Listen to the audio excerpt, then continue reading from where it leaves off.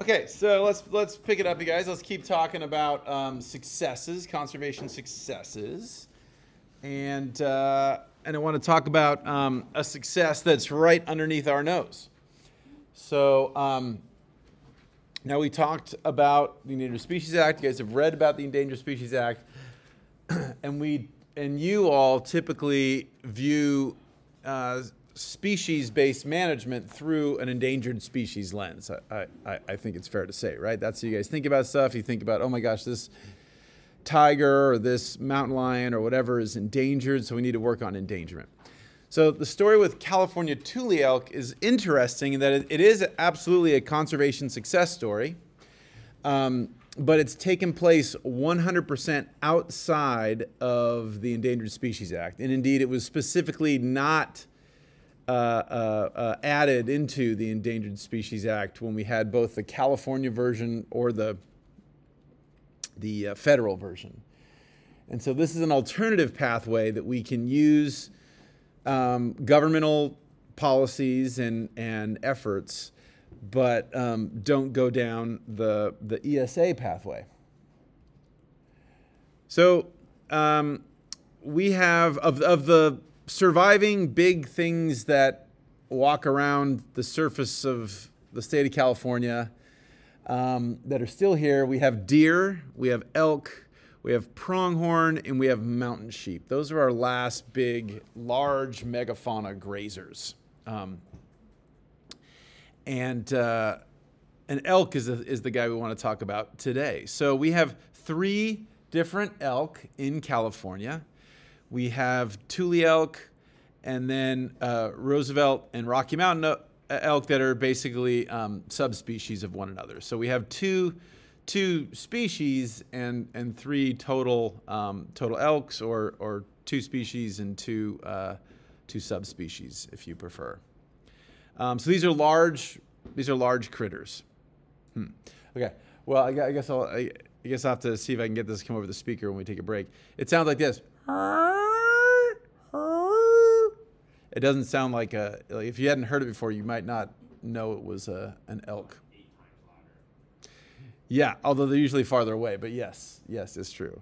Um, so now Tule elk, of, of those three that exist in California, that uh, Tule elk is the smallest of the three. Nevertheless, it's still big, right? It's still about my shoulder height when I'm standing up. Uh, you know, um, big, huge, uh, large-bodied critter with a lot of momentum when the critter is moving around. Essentially, Tule elk is a big deer, right? A big fat deer. Um, this is a critter that um, is a ruminant, right? So this is like our other ruminants. It's going to eat a, needs to eat a lot of vegetation, needs to ingest a lot of plant matter, and then has a ruminant digestive tract where where um, uh, plant matter is cycled around and has different uh, uh, chambers to deal with the breakdown of these hard to digest lignins and things of that nature. So um, basically, they just need to eat a lot. You eat a lot, need to eat all the time. And so that that grass and, and vegetation isn't necessarily high calories, so they need to eat a lot of it all the time to get enough to sustain themselves and do the reproduction and all that kind of stuff. Uh, the the males are big, right? So the, the biggest males will be over my head, um, and uh, about 350 to 450 in terms of uh, kilos, and they'll have these large, multi-pronged uh, antlers. The antlers grow uh, each year. So right about now, right about this time of year, we're starting to they're starting to grow and they're going to get bigger and bigger and bigger throughout the whole growing season. And they're used uh, for, for defense, but they're primarily used in, in dominance displays um, with the bigger um, antlers. I mean, they're all used for defense. They can all use for scraping things and stuff, but, but the biggest ones are used for um, uh, fighting for superiority um, and access to reproduction. Um, so it's basically uh, like some of the other uh, some of the other large mammals, like our um, uh, elephant seals. They have they're they're poly. They're, they have multiple females for one male, and they have a harem type of mating system where one male mates with a lot of uh, nearby females. Um, they're going to mate in the summer, and then they're going to have um, a little bit shorter than a human gestation. Um, and then the babies are born about now, and they typically have one baby per mom, one calf per cow.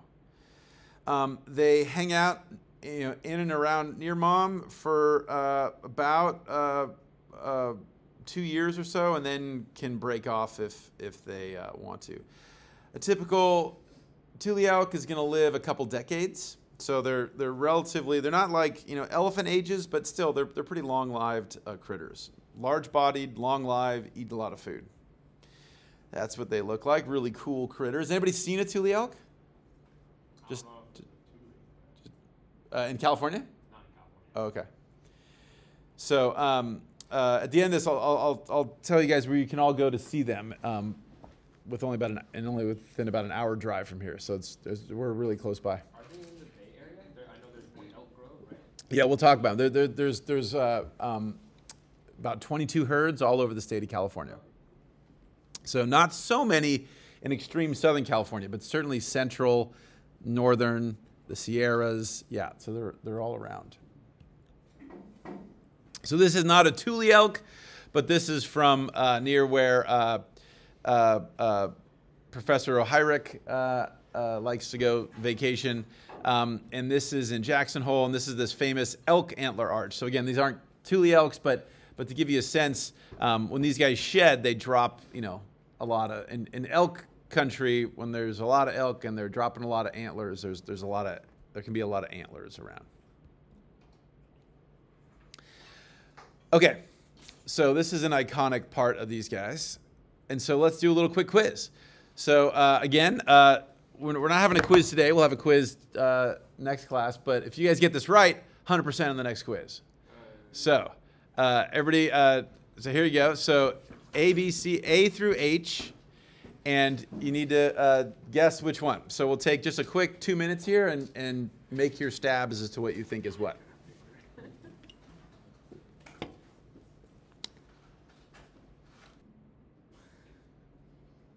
Okay, here we go. Let's see. Let's see if you guys get it right. Ready, steady. Drum roll. Ah. Okay. So, uh, yeah. So H E B F G C D A. Anybody get them all right? Really? H E B F G C D A. Oh snap! All right, cool. Anybody else get it all right? I only got one. Okay, uh, well, good try. Good try. All right, cool. Uh, so you mean two then? You mean like you flipped? You mean one pair? Yeah. Yeah. Okay. Cool. All right. Cool. All right. So um, so uh, okay. So we have uh, H is uh, mountain goat. E is bighorn sheep. Hopefully everybody got the bighorn sheep. Uh, hopefully that one that one should be uh, uh, good. Um, okay. So so for example, bighorn sheep have horns as they're as they're known. Um, and so horns are permanent; they're not shed. They have these year round. They they have them all the time, I should say. And they're bone in the middle, and they have a keratin sheath. So keratin, like your kind of fingernails, kind of a, a sheath uh, covering covering that. And they grow and they get bigger uh, uh, over over time, and they curly Q. Um, they're not forked. Horns are never forked. That's what a horn is right? So like think of a rhino horn, right? It's, we call that a horn. It's just like a one one stab thing, right? So just like this this E right here, this this curly Q, it's actually it, it's curves, but it's one thing. Okay. Uh, the other uh, another uh, strange one is the pronghorn, right? So the pronghorn is number D right here. So note here that this guy is forked, but just a little bit of forked. Um, and uh, pronghorns have a bony core uh, with a keratin sheath, but that they shed that annually. So it's kind of like a horn, but that comes off uh, uh, uh all the time. Um, uh, in both sexes, in the ran- in the horns and in the pronghorns, have have have these structures on their heads. Then the other guys are antlers. So antlers are uh, males have them, and they're shed annually. And so they have this, uh, uh, they have a little bit of what's called felt uh, over it, which helps these uh, antlers grow. Um, and they're basically bone. Um, and so, so for our uh, elk, our, our, Tule elk and the, okay, so the other one I hope you guys got. So I hope everybody got the, um, the sheep right here, and I hope everybody got the big moose, right? So we don't have any moose in California, but we do in North America, and and and those are those are pretty different, right? Very pretty different looking. Um, and the pronghorn actually has this weird little thing, but but the rest are are, are fairly similar. These these antlers. So let's talk about what we have. So here are the elk in uh, northern, or here the elk in North America, I should say. Okay, here's here are the distribution of elk across North America. So this is um, you know historic in, in their range, and so you know uh, broadly speaking, we had elk over most of the U.S. with the exception of the sort of extreme eastern seaboard and the South, the Gulf South, um, and uh, not a not a huge amount in the desert, dry areas of the Intermountain West. But pretty much the rest of that, uh, the core of North America had a lot of elk back in the day. This is where we were as of um, about 40 years or so ago. And so uh, the orange splotches here represent where we have uh, one or more elk species. And you'll notice in California, we, we have a few, um, but not, not so much. Uh, really, elk are concentrated in the Rocky Mountains. Um, and so this is what we believe our best guess. This is this is sort of the historic elk distribution in California. So the uh, Roosevelt elk are, were more up, like trending on into Oregon, and the core of Tule elk were in the Central Valley and the Coast Ranges, um, uh, just barely down to us. So we, we, we clearly had elk, but the elk were basically in what we would now call Los Padres and, and that sort of chunk of the county. Um, but definitely coastal California had a lot of elk. Definitely uh, the, the Central Valley had a lot of elk. And they were quite common. By 1870, they were basically all gone, right? So, and, and most of this eradication had happened in the preceding couple decades. This was a very, we've seen this before, right? Rapid overexploitation or, or intense exploitation to the point where it becomes overexploitation, and then we rapidly drive the population um, down. And remember, how many babies does the mom typically have a year? One, right? So if everything goes super, super well and you find a mate and this and that, you're maybe making one baby a year, right? Not like a rabbit or a rat or some of these, um, you know, high R selected species. These are slow growing critters. And so, as we know from our previous discussions, we know they're more vulnerable than um, some of these fast growing populations.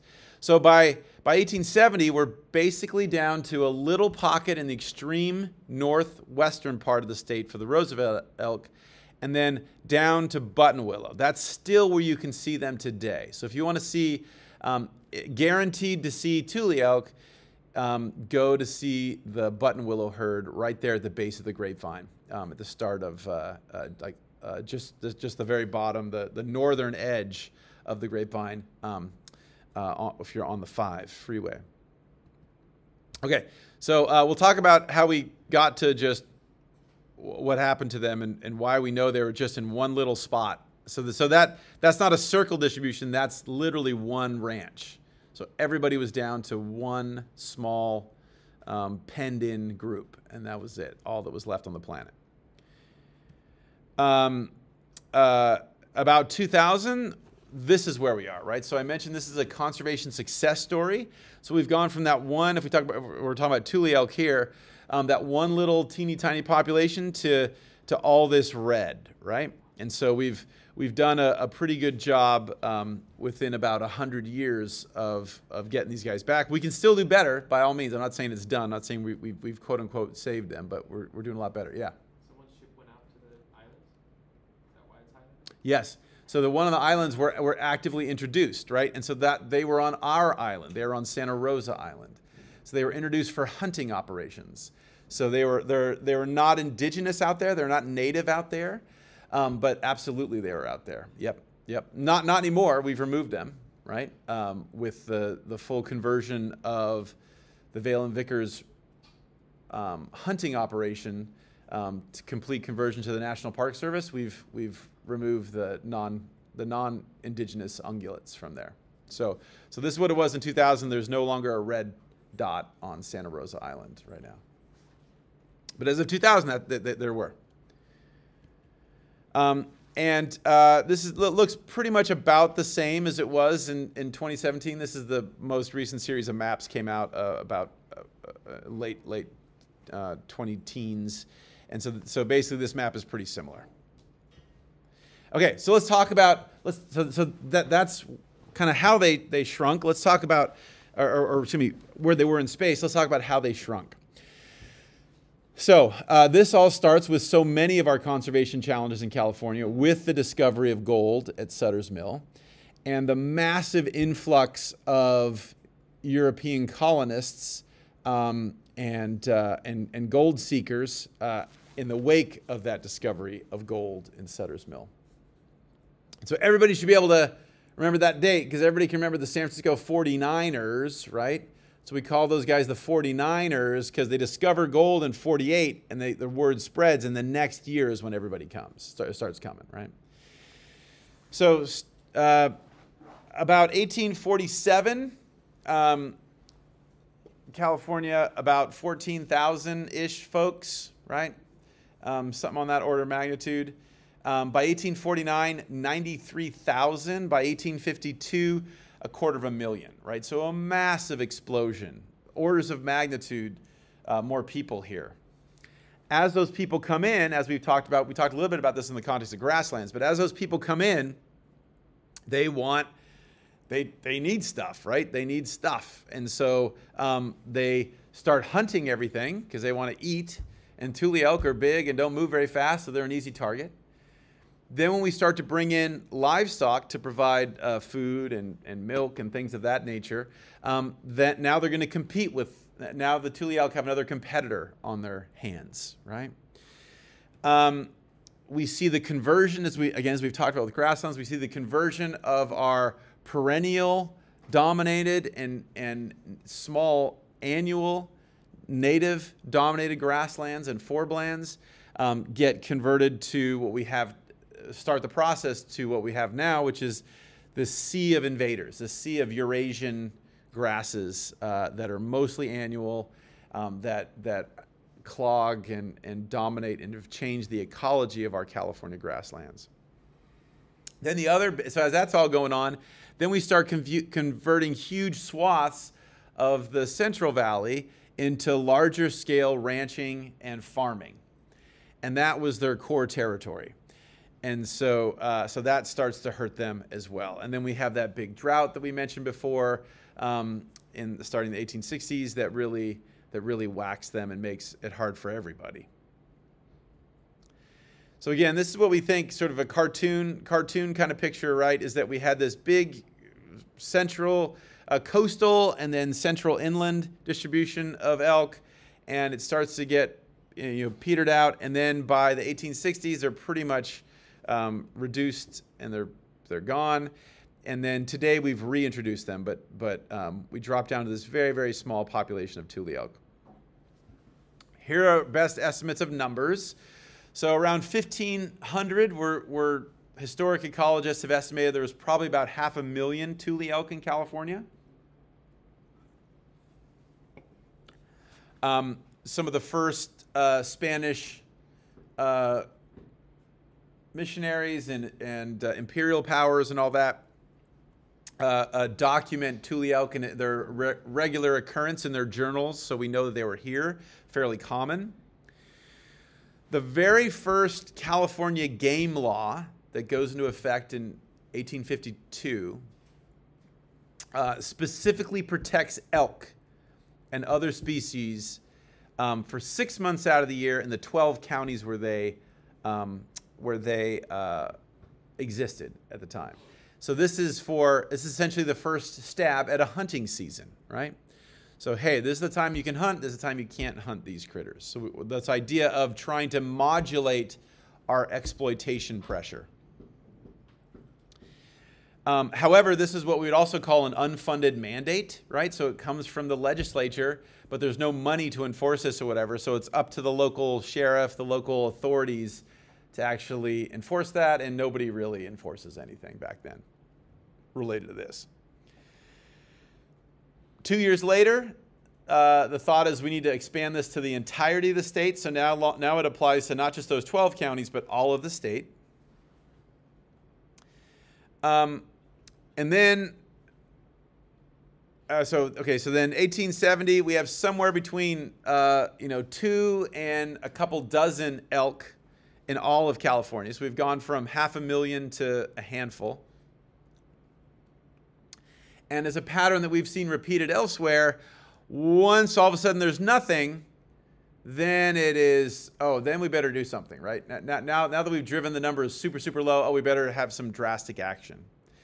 We've talked about this with oak trees and various things. Um, and so, so in 1873, we make a law that says hunting Elk is a felony, not just a misdemeanor, which is what a lot of the hunting rules are, but an actual penalty, pen, fen, penalty, an actual felony, which is a real penalty, and publish, punishable by up to two years in prison. By 1874, the lore, the lore, and you'll hear this repeated a lot, the lore is that we're down to quote unquote two elk, one male, one female, on this guy named Henry Miller's ranch. And this is in Kern County.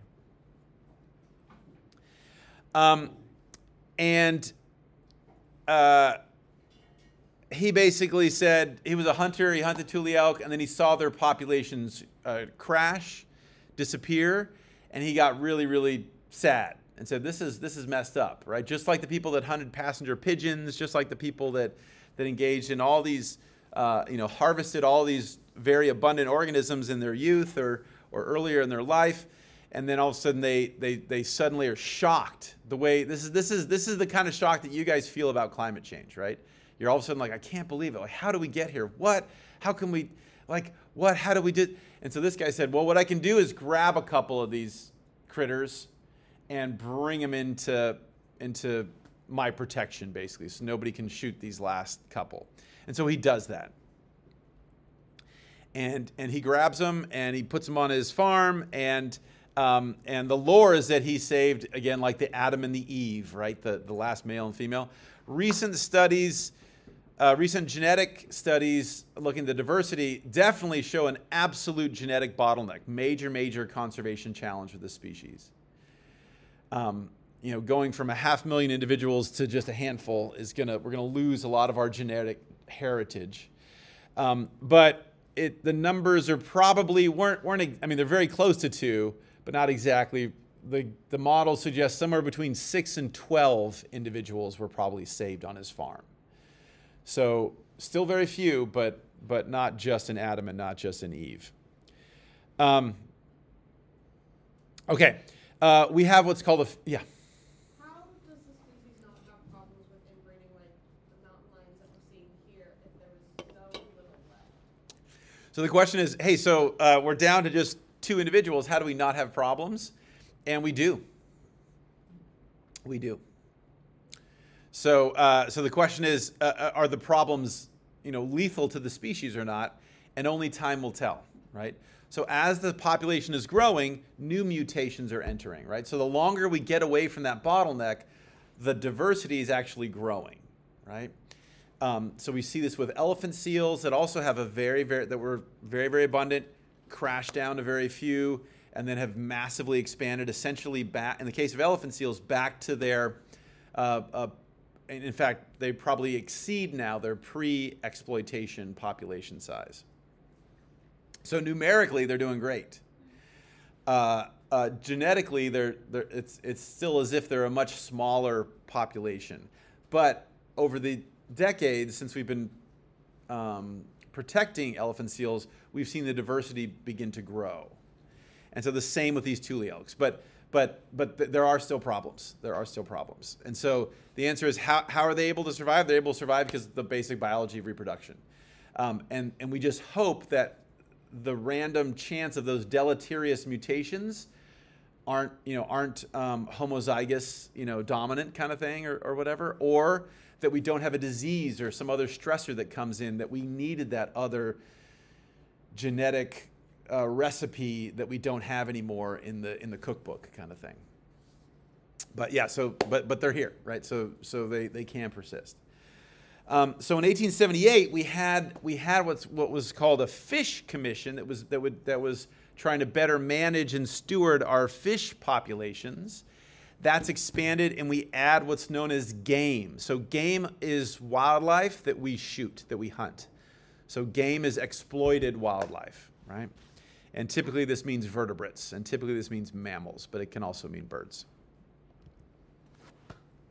Okay, by the early 1800s, these these individuals that we had on this farm are starting to get like they're reproducing, they're, they're having babies, and they're starting to outstrip they're starting to outstrip what what uh, these guys can do in this little small farm, right? It's not a small farm, but still, it's a, it's a, it's a ranch, but it's, it's not infinite, right? So they're causing problems. So the first attempt, uh, the U.S. Biological Survey, so the, the feds, the federal uh, biologists, basically, um, say, hey, we're going to relocate some of these elk. And so they came in and they tried to use the techniques that they knew at the time, which were for cattle, sheep, things of that nature. So typical ranching approaches where you, you, you go up to them, you throw a, a lasso around their neck, and then you, you bring them down, you knock them down, you tie their legs together. Didn't work. They, they, they're not a domesticated um, uh, type of, uh, of ungulate, and they're harder to put the lasso around their antlers, and it didn't go well, and they killed a bunch of them, right? The ones they tried to capture, they, they killed a bunch of them. They're like, oh, wow, this isn't really working. So they had to um, begin to do some elk specific management. And so the generic things we thought we could port in from other experiences didn't seem to work, so we needed a new strategy. Um, and so one of the idea, and, and this was expensive, right? This was expensive. So th- then we begin to introduce this, uh, uh, the first hunting licenses in California. And so the idea there is maybe we can generate some money to help with things like the conservation of tule elk and other critters um, by using uh, people's interest in hunting, right? So how many people here uh, are hunters? How many people here have, have, have hunted animals? Just one. Okay. So you guys are you guys are typical of the U.S. So we are we are losing our hunters. How about fish? How many people fish? So slightly more. One, two, two people, two people fish here. So, um, so if you know, if I if I'd asked this question 40 years ago, many more people would have their hands up. If I asked this question 60 years ago, probably almost all of you would have had your hands up that at least fished or or what have you, right? Um, and so this is, I'll say this very explicitly. This is a problem. This is a huge problem. So I think in our circles, we often think of hunting as a bad thing, right? I do not think that's supported by facts whatsoever. So, trophy hunting, uh, uh, sort of slaughter hunting, like we saw with passenger pigeons, with, with the bison, etc. Um, people going and blowing away a, a whatever a rhino because they want its tusk, or, or they want some medicinal properties, magical medicinal properties they think exist from its tusk, or something like that. That's a problem. But generic hunting um, is not a problem. Hunting and fishing is not a problem. Indeed, those, those folks are the historic core of the conservation movement. And we would not have the conservation movement were it not for hunters and fishers. So, um, and so I'm going to show you some data here that, that suggests that without hunters, we wouldn't have had, um, well, well, well, the pathway we chose um, uh, was deeply utilizing hunting and, and hunters. So, okay, so by 1914, these elk are still causing damage. and eh, they're like people like man we got to do something man we, th- these guys are just they're, they're too big and again remember these are big animals right these are 700 pound big tall things that are strong and when they want to move somewhere they move somewhere right and uh, they're not easy to sort of to keep contained so we, they they uh, reach out to the California Academy of Sciences, which is in San Francisco in Golden Gate Park, and they say, "Hey, can you guys help us?" And so they try another effort at relocating a subset of these elk, and it goes. Uh, they still lose a lot, but it goes better, and they actually are able to relocate some. And then they learn a little bit, and then they they start trying some other things, and they see what works and what doesn't work. So over the next 20 years, they end up relocating a total of about 235 elk to 22 different populations, 22, 22 different locations around uh, California, most of which don't take. I mean, they might they might get the the Tule elk there, but they don't establish a viable population that's growing and, and expanding. Um, at this time, we established the Cache, Creek and the Owens Valley population, which have now become two of the most important source populations for the recovery of the species. Um, and, uh, and in 1930, we moved those elk from the, that ranch to this refuge at uh, Tupman. And uh, we established the, uh, in 1934, we established by law the, Cal- the Tule elk State Reserve, right? So this is um, one of our first state reserves. And this is at Buttonwillow, and this is the one I mentioned you guys can go see today, right now, and you can see Tule elk there 365 days of the year. And there's a there's a viewing platform where if they're not right up next to where where you're standing, you can still pretty much see them just about everywhere, um, unless they're sort of lying down sleeping kind of thing. Um, and it's great. It's a relative. So this state reserve is very small. It's a little bit less than four square kilometers, so it's pretty small. But uh, nevertheless, this is the sort of historic heart of, uh, of uh, Tule elk recovery. By 1940, we had three viable populations that were growing um, at Cache Creek, Owens, and Tupman. Um, by 1970, we had, we had three herds with a total of about 500 animals. By 71, we enact a new law that says no hunting of Tule elk um, until the population exceeds 2,000 individuals. So again, this is, this is also approach we see mostly with the Endangered Species Act, but the idea is, hey, we're going to get above some critical population size. Once we've surpassed that critical, critical population size, then we can relax some of our restrictions or allow people to do more traditional activities in and around the organism. In this case, it's hunting. So, in addition to just saying you can't hunt until we have a, a, larger population size, this also says that the state of California must, is required to relocate Tule elk populations. So, the idea is to try to establish multiple populations all over the place in case a disease breaks out or a wildfire or whatever the heck, that we have some redundancy here and so we have backup plans of something. So in other words, all of our eggs aren't in one or two or three baskets. We want them to be in multiple baskets. At that time in 1971, the Owens Valley population, which I mentioned is this sort of mother mother source population, um, was was uh, less than 500, was less than 490 individuals. Um, okay, so uh, so you can see that was that was that was the vast majority of the of the Tule elk um, at the time. Uh, in 1974, we take the first individuals and uh, let them go, right? So this is not in a in a reserve. This is not in someone's game park or something of that nature. This is just turn them free and, and you guys roam wherever you guys want to roam. Um, and yeah, there you go. Um, 76, we have the first federal dollars coming into the state to help us with, with this relocation effort and all that, all that good stuff. We hit the 2,000 individual mark in 1987. And so that starts the process where we begin to allow hunters to start to, to re, re-hunt these individuals. And so that first year of hunting is in 1989. And so this is a little bit what that population looks like, right? So this is this is uh, not uh, note here. This is not um, this is not evenly spaced here, uh, evenly spaced values here, right? We're kind of skipping. There's a little bit of skipping here, but basically see the general trend, which is going upwards up until uh, uh, the uh, end of the last century.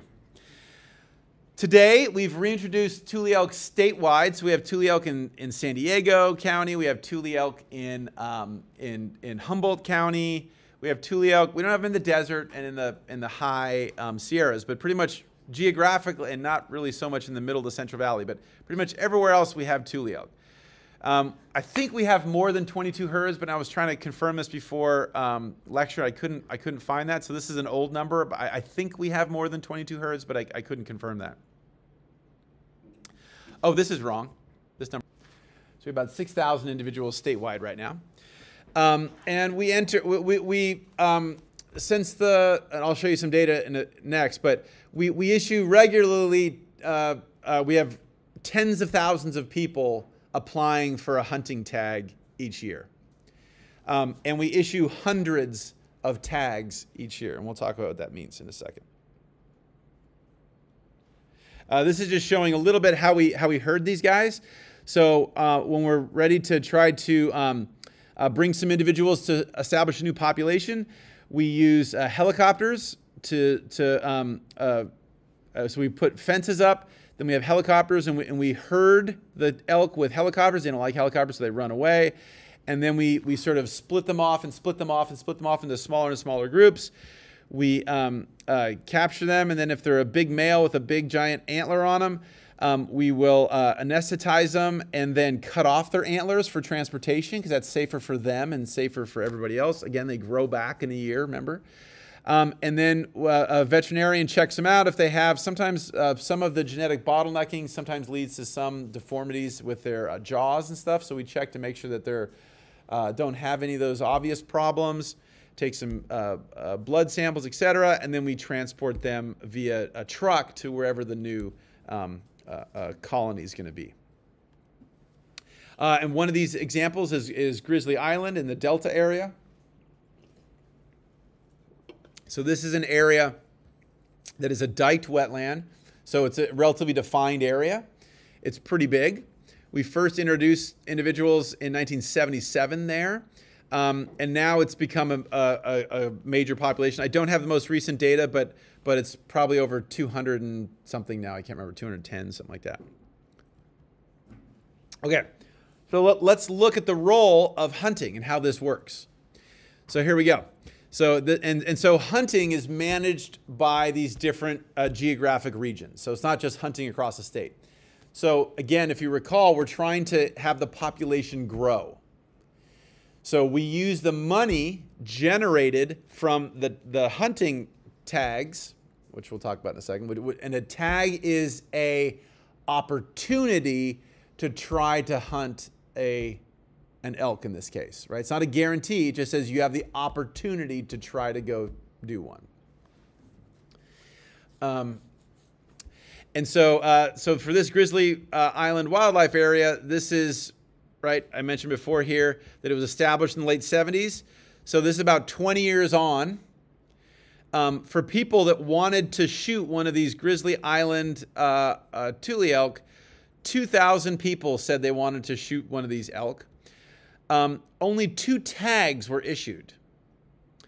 Um, and then two elk were killed. So if you have a tag, sometimes you can kill a critter and then that's success sometimes you you miss or something doesn't work out or the weather's not right or whatever the heck it is. And so so if you don't the season excuse me, the season ends and you haven't killed one, you're done, right? You have to reapply for another tag the next year. Um, and so in this case, since there's only two indivi- two uh, uh, opportunities, um, in this case, every year from the late 90s to the early 2000s, um, every single tag was taken, but that, that doesn't always happen. We can also look at something like Fort Hunter Liggett up, by San, up in San Luis Obispo. And so, yeah. How come the issued is so low? Uh, be- because for that particular population, Oh. the, the, the, the population modeling was deemed that we could only take a maximum of two to be safe because we want the population to keep growing. So, so each of these different hunting zones is going to have a different potential number of tule elk that can be taken. So we're managed on a sub-state basis. We're not managed on a statewide basis. So we're managed by these little populations. That's different than like out of state. Uh, no. So we'll talk about that. So, so, so, okay. So Caleb's question is: so this is different than than than people hunting out of state. This is total tags. So this is young people, old people, people from outside California can also apply to hunt. They pay a lot more, but they can also hunt. But it, it, it's just from the from this conservation standpoint, it's just two individuals. That's it. Doesn't matter who the the the, the person pulling the trigger is. They could be a local. They could be from somewhere else in California. They could be from outside of California. Um, okay, so another quick example here. This would be Fort Hunter Liggett. Again, this is this is a, a military uh, base up uh, San Luis Obispo area. And here we go. So here, um, now this one's a little bit funky in that um, this is this is on a, a military property. So so um, it's not necessarily uh, free access all the time, like maybe some other areas. So in in the mid 90s, we had a total of eight, a bit over 800 applications of civilians. The military have a reserve number of tags that they get to issue themselves internally, right? So, so they can only shoot in, in 1986. They can only shoot a maximum of three elk, but they can. The military gets to decide how to do it. So that's an agreement the state has made because this is federal land, right? This this property is federal property.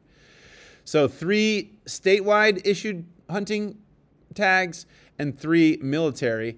And in this year, only four total animals were killed. So it was only a, a, a you know two out of three um, individuals were killed. Um, in other years, all six have been taken. As the population is growing, um, right, we can we can allow more hunting, and then sometimes, uh, what do you think happened in 2001? I was bored. Besides you guys being born, besides you trying to make me feel old, right? What else happened? 9 11. right? So all of a sudden everything got super locked down. So my restorations out at Mugu Lagoon, we used to go weekly check on them, couldn't go check on them. And when we would want to go, we'd have to get super special permission, and it would take like an extra hour at the security gate. We'd have to go with a military police escort, and it was just it was just crazy. And so, and that was to go just check a salt marsh, right, to make sure things looked okay. This is this is people walking around with rifles, right? So you can understand the military is like, yeah, no, we don't think we're going to do that this year. Okay, so here's, I just pulled this together uh, for the most recent uh, data. I just grabbed a little bit of sampling.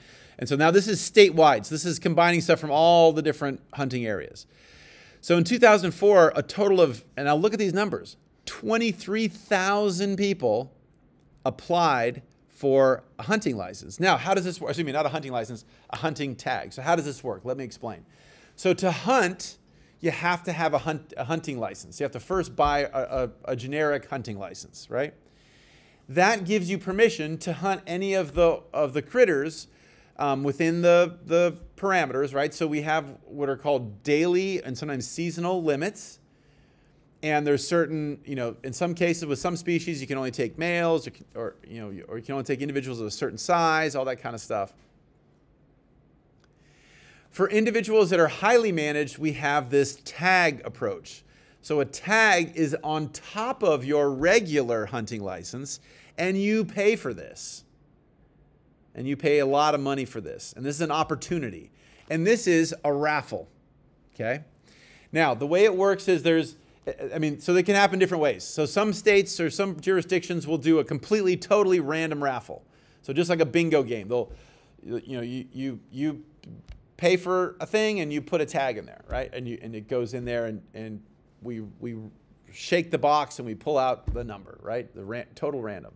In other cases, and we, this is the case in California, we have a point system. So with different things, you can get more points, which, which will increase your probability, but it is still a random draw. So you can try to give yourself some extra, extra. Um, it's like buying extra lottery tickets, right? You can try to give give yourselves a higher chance, but it's still, it's still a, a random draw as to who actually ends up getting it.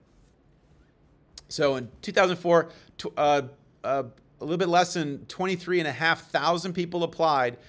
We only had a total of 281 maximum potential tags issued.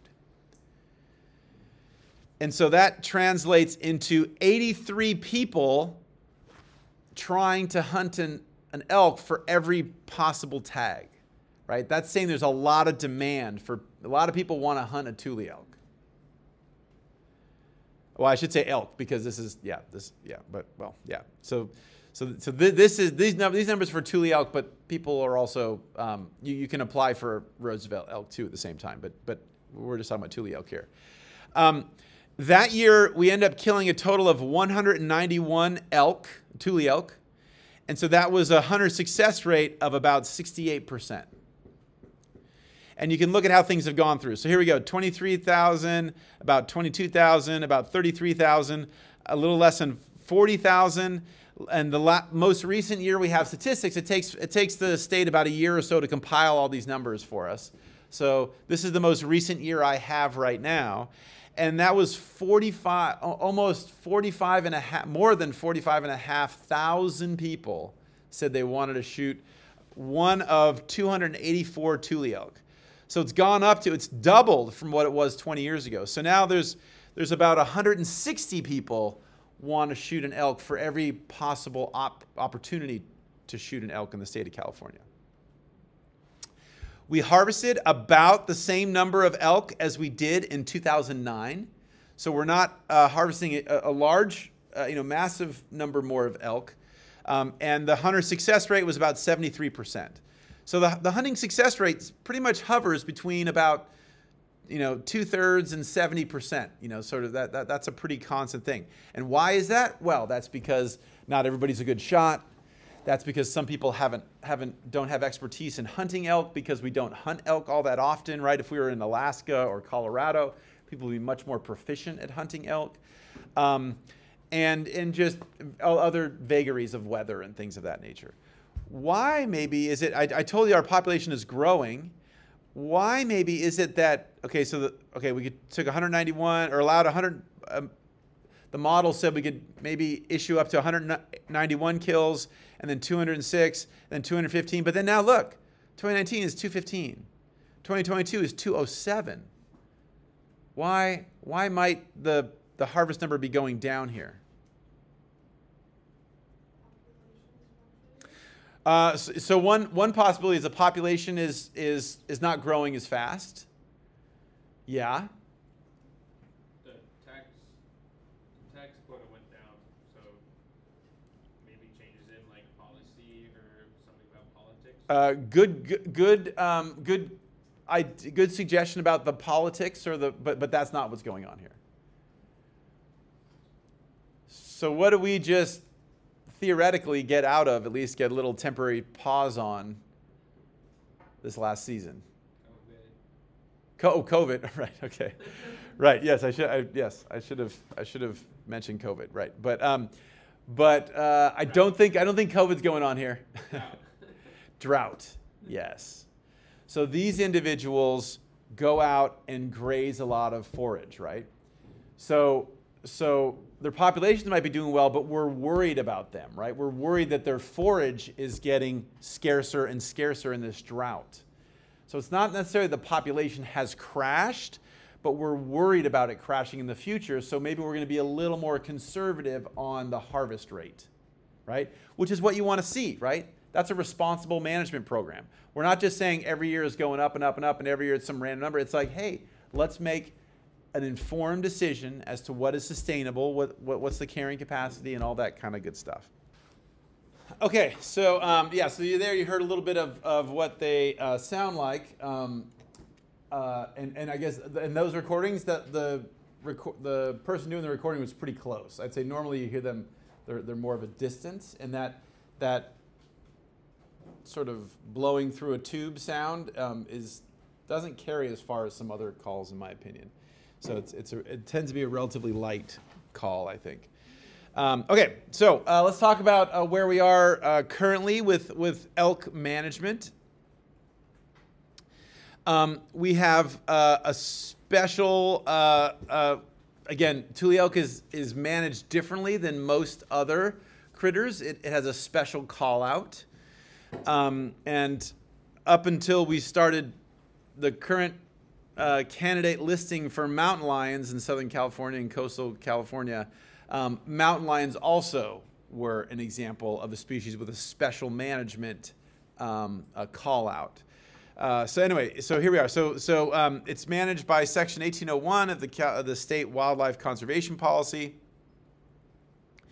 and in particular, Section 3952 creates the state California statewide elk management plan, and uh, with and the main nut of this plan is the state is charged with maintaining sufficient elk populations in perpetuity.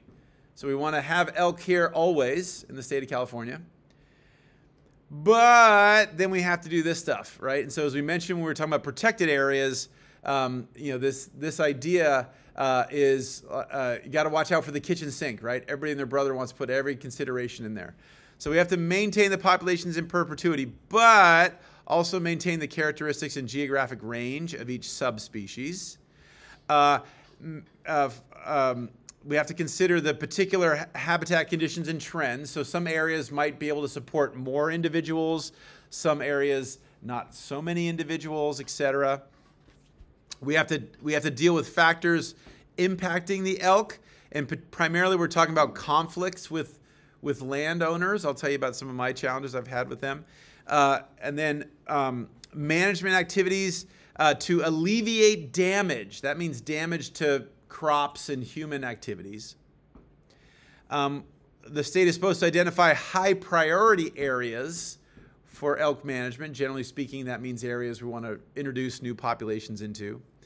Um, and, uh, and, const- and, and be working on making sure we have the best possible estimate of minimum population viability or, or different population modeling efforts to keep the species around. And, um, and all that kind of stuff. So it's a lot of it's a lot of stuff. The main way we try to assure that we're doing a good job with our elks, as I mentioned, is to is to move them, to relocate them from a relatively uh, growing population to either a place where there are no individuals or where the individuals are are not reproducing, um, not in a growth uh, phase. Uh, so here are the crazy criteria, uh, which I would argue make sense theoretically, but in practice are, I would argue, overly constraining um, in my practical experience. But nevertheless, these, these are our current criteria. Number one, the new area must be free ranging. In other words, if you have a farm or a place that's fenced in, that doesn't count. Uh, you need to have a means to control the population size. We'll talk about that uh, next. Um, you have to have new areas. Uh, so, so any, any of the new areas that we're going to put, put them to have to have a, a minimum likelihood of human wildlife interactions, right?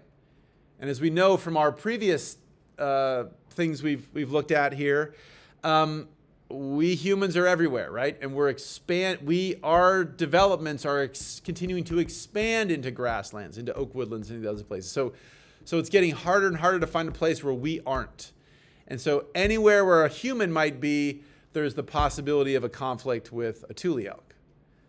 Now, that's not necessarily. I mean, it could be being stomped on or gored, or you know, getting a antler to the gut, right? So there's that. But it's also just if even if people aren't around, just with our infrastructure, these are very, very large animals, and they can wreak havoc on on fences. They can wreak havoc on your sprinkler system, right? All that kind of stuff. And so all those things would would qualify as a as a, um, a, a significant conflict, or I should say, at least potentially qualifies it. They are they are a conflict. Whether they're they're deemed a significant conflict, that's another conversation. But but the potential is there. Um, uh, disease. So, this is a frequent red herring we've now come to understand, mostly from the livestock industry. So, um, so the argument has been oh my God, we can't have tule elk in this area where we have cattle. Why? Because the tule elk might spread disease to my, to my heifers, right? What we know now is that almost never happens in terms of a wild population of bison or a, a cattle. It can, it absolutely theoretically can, but in practice, it very rarely happens. What happens much more commonly is the domestic livestock spread disease to our wildlife. So the, the cattle spread disease to the bison, the cattle spread disease to the tule elk. So there is a worry about disease transfer, but historically that's been used to keep elk off of a landscape when in reality tule elk are potentially vulnerable to the existing uh, disease populations uh, uh, in those areas. Uh, the habitat must be suitable, so we can't plop these guys down out in the middle of the Mojave Desert, right? That wouldn't work.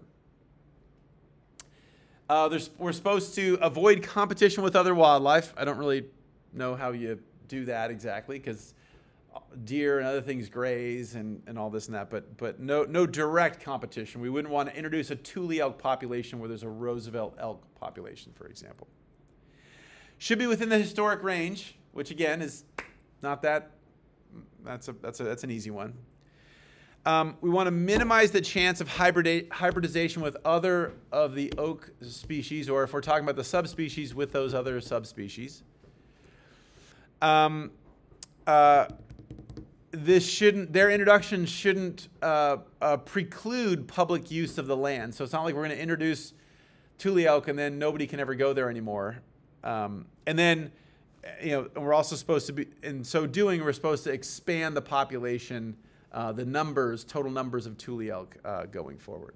So these all make sense, you know, at one level theoretically, but altogether they make it very challenging, right? Two or three of these would be would be okay. We could do that, but when we have you know, 10, more than 10 of these things, it starts to become quite constraining.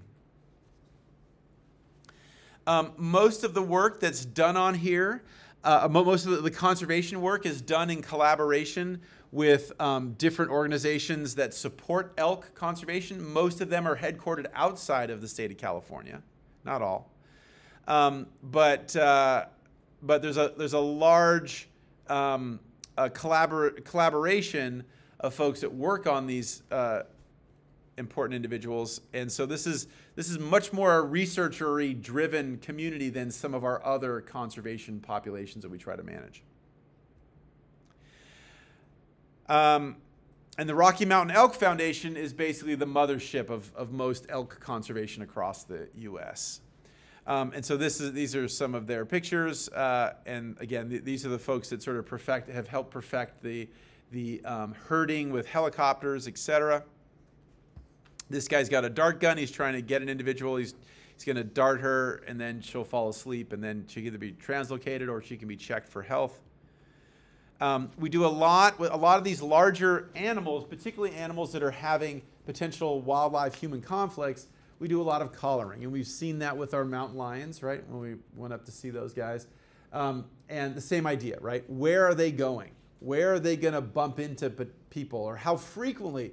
So, right, if you if you hear our news reports from our mountain lions, oh my God, the mountain lions all around here, right? They rarely see them, right? So most of the time, the critters are there that that you know don't incur the wrath of people or don't cause a problem and so we need that spatial ecology data. We need that movement data to really understand that. And then are they spending most of the wet season in this area? Are they spending most of the dry season in this area? All that kind of stuff is really uh, greatly uh, aided by uh, tracking studies. Historically, um, as we've heard before, historically this has mostly been done with radio transmitter, beep, beep, beep, beep, and then triangulation with folks like you guys, undergrads, going out for hours on end each day pointing an antenna and then recording your position and taking a bearing and all that kind of stuff and triangulating where the critter is. Now, um, uh, just about everything is GPS uh, based, either real-time GPS or, or package data that, that uses a cell phone network or something of that nature to, uh, to send up a, a, a data a couple times a day, for example, to save battery life. Here's some images of some of the relocations. Um, as I mentioned before, these guys cut off the antlers for safety for the critters, um, and they, they transport them. They sometimes will transport them in the air, but more typically, in our case, in California, we're typically moving them via vehicles like, like, uh, like this individual. Um, uh, okay, so so now we're starting to get into the area or the, the issue of uh, too much success, at least hyper locally, right? So again, we know we're, we're nowhere close to the half a million individuals we, historically were, but nevertheless, we're never going to be able to support a half million, you know, elk in California ever again. There's just too many people and too much agriculture and that kind of stuff. But these small pockets are starting to get uh, filled, right? And so, so these critters, once they get filled, now they start to go somewhere else. And so we- increasingly are seeing things like, you know, um, uh, letters to the editor, people saying there's too many elk, we got to do something. So, um, so I'll tell you guys the story, and then I want you to, then I want you guys to all do a little bit of googling here when we pause, and I want you guys to tell me what what the most current controversies you find regarding elk uh, in California. But I'll just tell you the quick story before we go into these these current uh, existing management challenges going forward, and that is the story of um, over the break. I, I played that little quick video for you guys of um, uh, uh, Point Reyes National Seashore uh, and the elk that are there.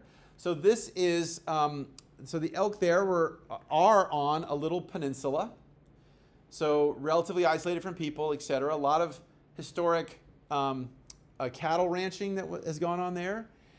And again, as most of those nature documentaries talk about, they say the cattle ranching has been going on here for generations. They don't say there used to be Tule elk here that we killed and then replaced them with cattle. We don't say that, but that's fine. Um, uh, and then also, uh, you know, residents and, and, and homes around the area, right?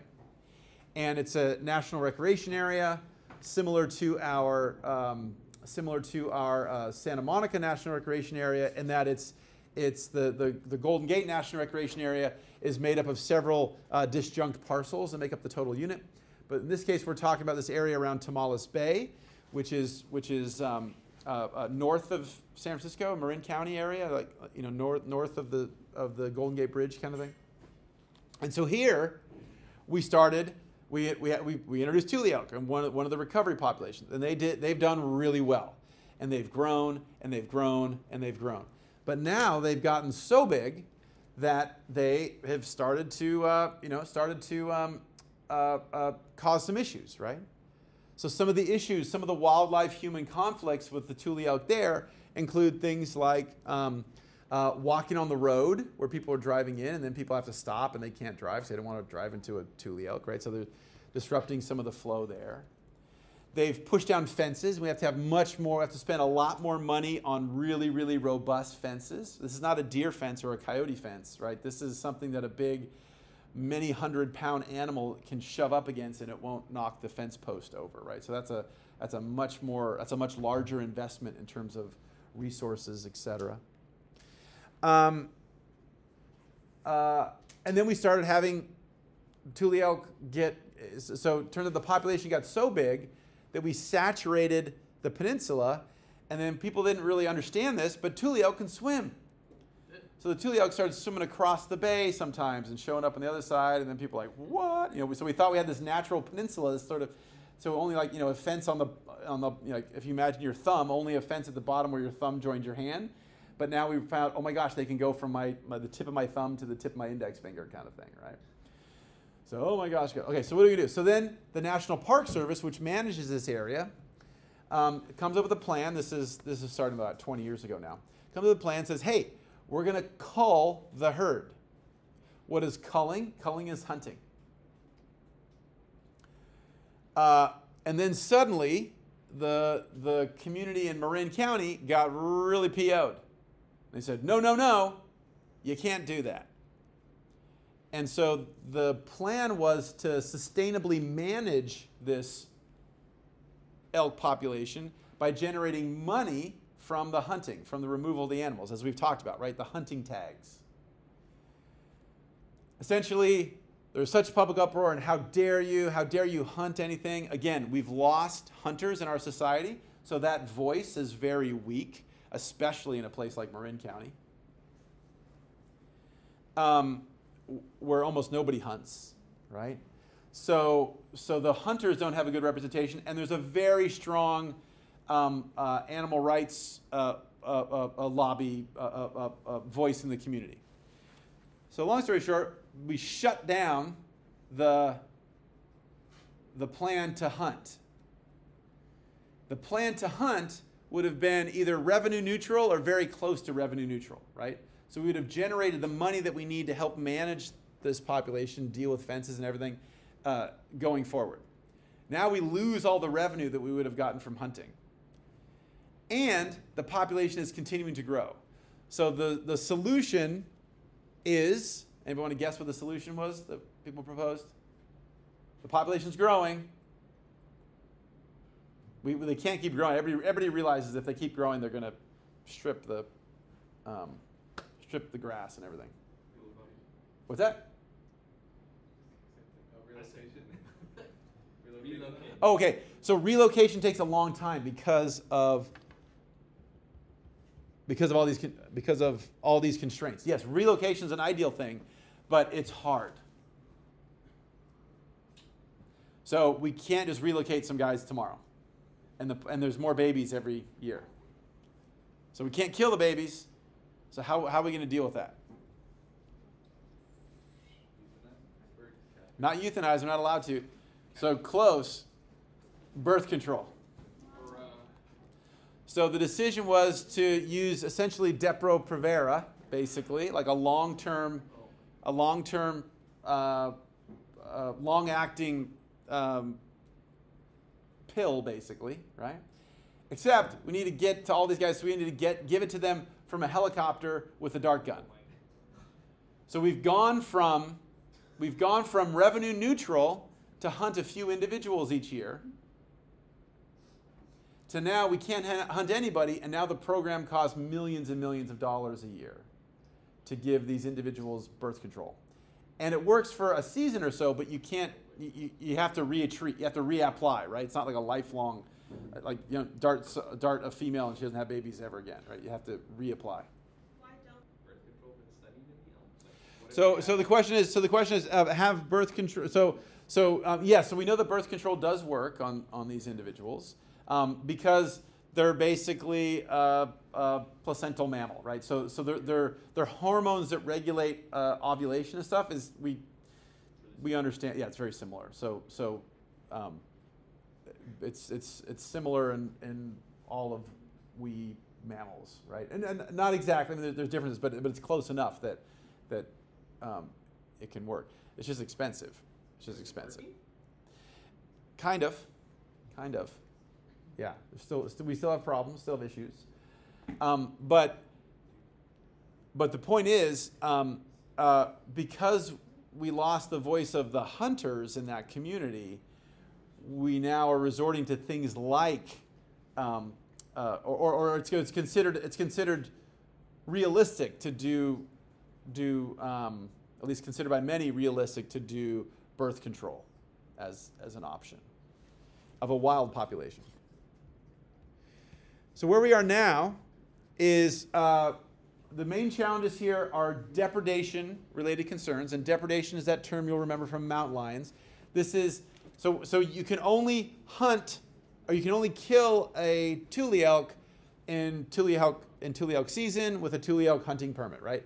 Unless they're a nuisance, just like just like a mountain lion.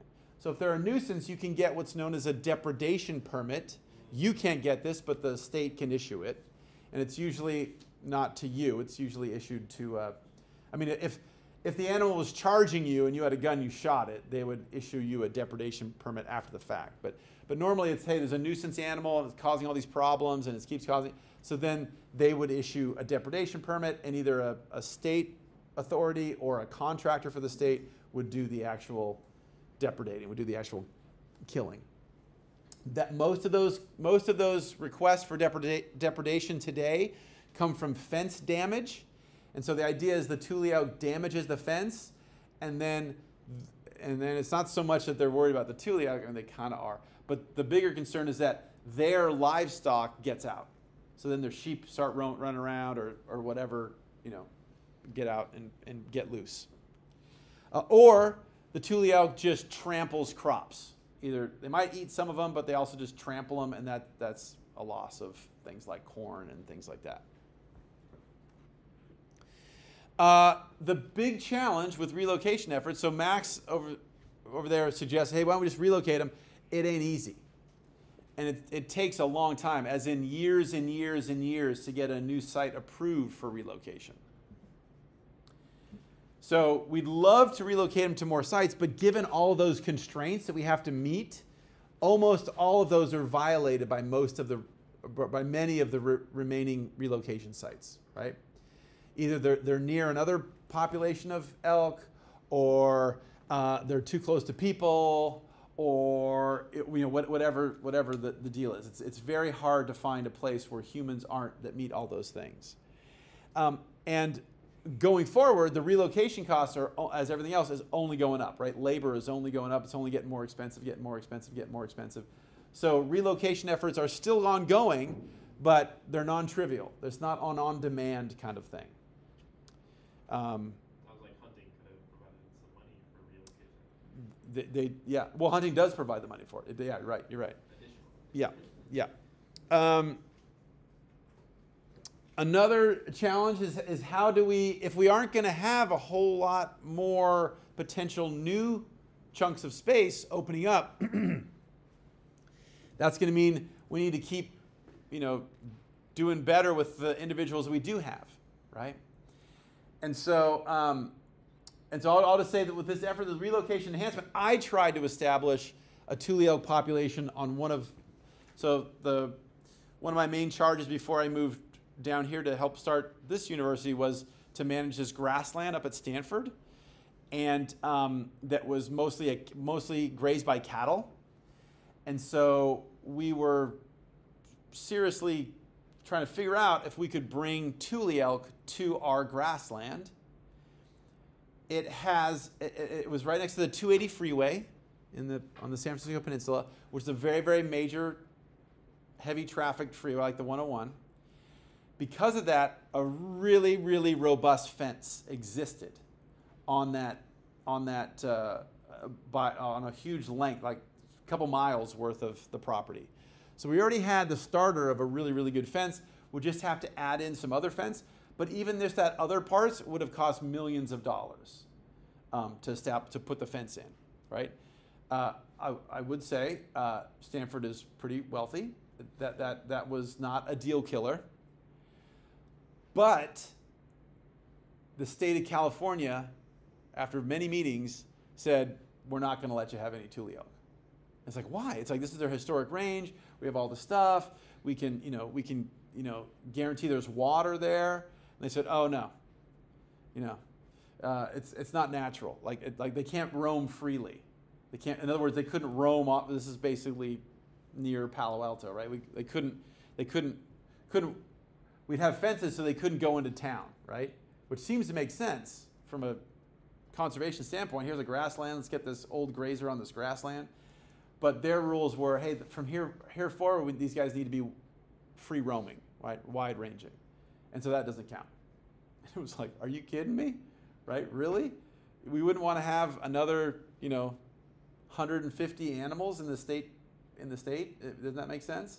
Um, in particular, it's such a popular freeway. It would have been great because everybody and their brother would see him when they're commuting back and forth. So it'd be a wonderful education opportunity too. But they're like, yeah, no, mm-mm, fenced in. Mm-mm. And during some years, you would definitely have to give them water, which we were fine with because we already had that infrastructure for the cattle. But they said, no, it has to be like naturally occurring water source.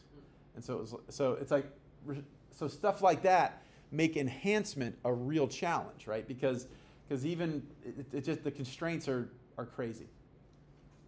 Okay, and then the last one, as with so many of our of our conservation challenges these days, it's the problem of the imperfect information, right? There's just so much more we'd like to know. You guys were asking questions about how well the the how well the um, birth control works, and and you know we didn't know that they can swim, and you know, all these various things, right? So so we don't know a lot about them uh, as much. Well, I should let me say that we know we know a good amount about them. We don't know as much as we'd like to know, particularly in this era of a changing climate. How are our Tule elk going to respond in these drier times? How are they going to respond when we have these massive atmospheric rivers that just come storm after storm after storm after storm, right? I mean, they're probably going to be okay, but but that's really, you know, trying to model the population. That's really key, right? Understanding what this changing weather is going to do to them, and we don't necessarily know that, and so, so that is a uh, that's a challenge going forward, um, and and in particular, um, not just how the Tule elk are going to respond to climate change, but how their their, habitats are going to respond. Um, you know, can they use alternative vegetation and things like that? We, we're just not not sure of.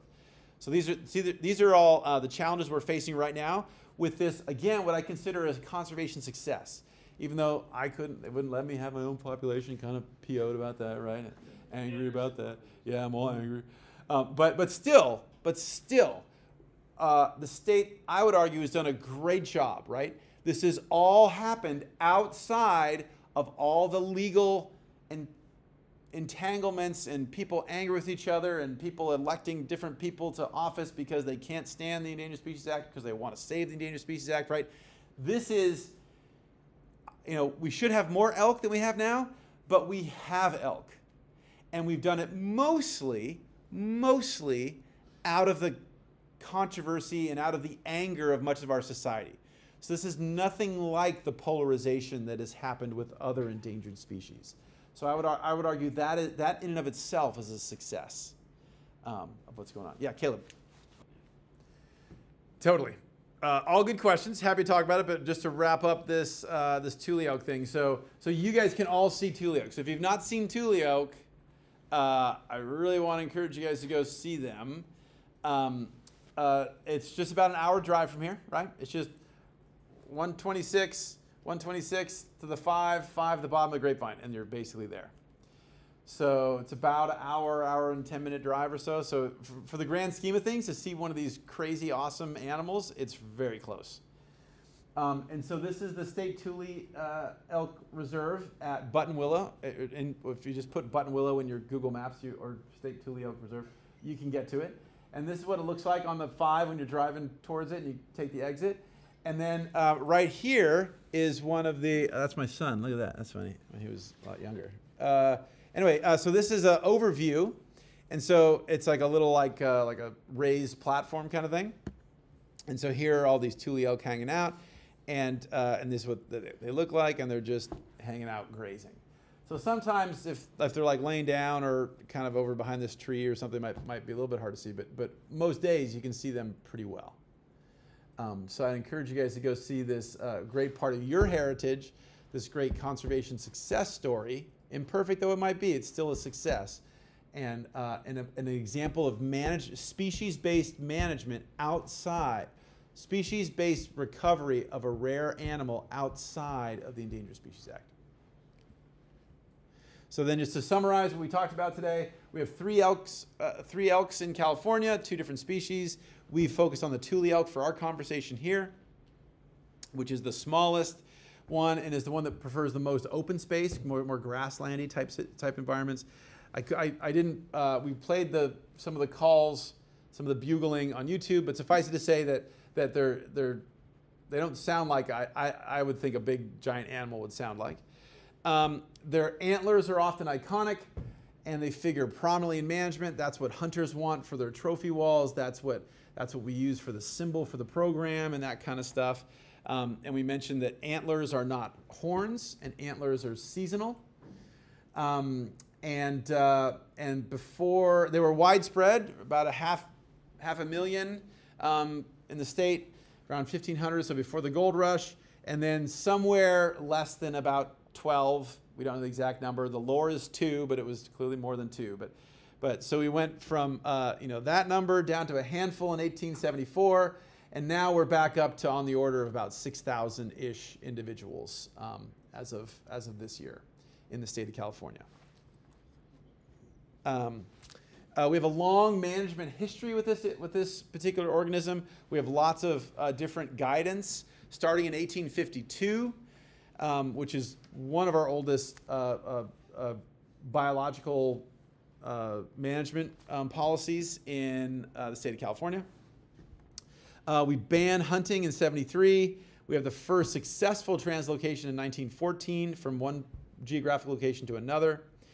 Um, it's not in any of the ES, uh, either the federal or state ESAs.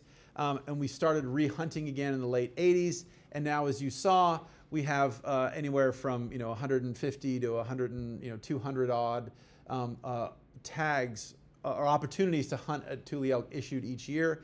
The sale of those hunting tags generates revenue for their ongoing management and stewardship, and uh, and this is an alternative to the ESA approach.